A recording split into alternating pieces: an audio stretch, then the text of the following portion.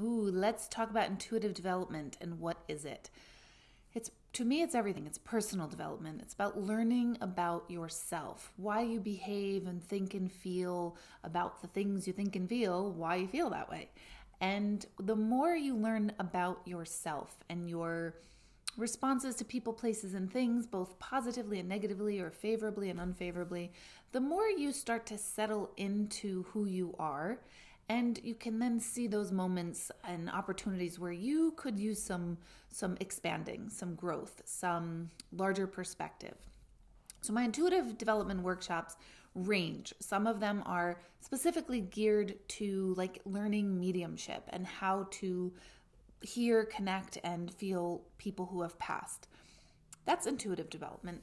But i also lead a lot of intuitive life coaching workshops and those are all about understanding who you are and how you got the way you are and where do you need to undo some things. So every time I try to do this video for intuitive development, I'm like, what is intuitive? How do I even explain this?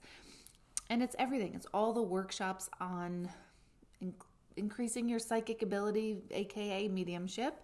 Um, but I believe a good medium needs to have a massive amount of personal work before they can actually truly know the art of mediumship because mediumship isn't just being aware of people's loved ones who have passed but it's being aware of their their energy their nuances their personality and how that applies to the person sitting in front of you.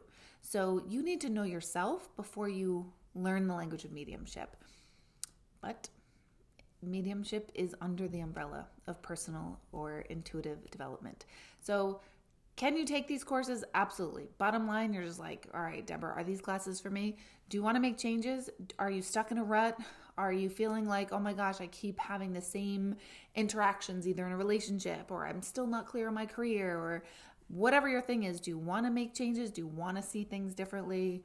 Intuitive development, no matter what the course is, is for you. So I hope this helps and um, email us for any more details.